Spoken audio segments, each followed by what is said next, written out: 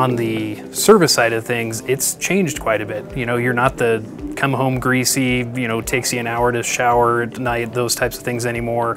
Um, we definitely have a very polished um, technician staff, you know, and folks that really need to be able to be in front of customers, have that interaction, be able to speak. I work on a lot of cars every day. I, I tend to do the quicker things like tires, oil changes, rotations, tire repairs. It's not what it used to be. This is cool, it's fun. You're using really high-tech technology, you're working on cool cars, and then also, you know, things that the industry can provide, um, tools, experience, more marketable skills outside of technician roles. So a lot of people that want to be uh, an auto tech don't realize they might really enjoy parts um, or sales or service advisor. There's a lot of other things out there than just turning wrenches.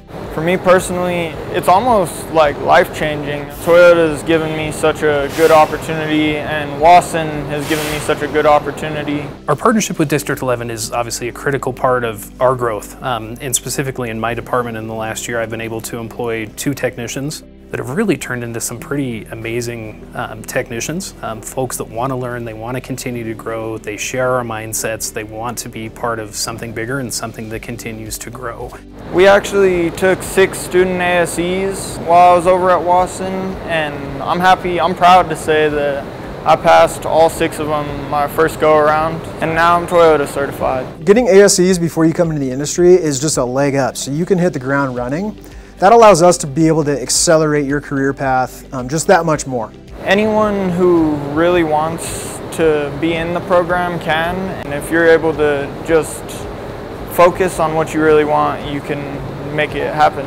I earned a uh, automotive uh, certificate in uh, Doherty High School and a uh, student excellence certificate and also ASE certificate too.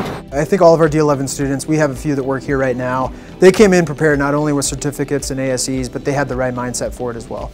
My long-term career goals yeah, in the main shop here is to complete my uh, Toyota certs. For my career, I want to, well, I want to get over to main shop. I want to be a main shop tech and be able to do all of every kind of job that comes through here, the longer jobs and all that. And then eventually when I'm older and I'm not able to work on cars anymore, I'd like to open my own shop.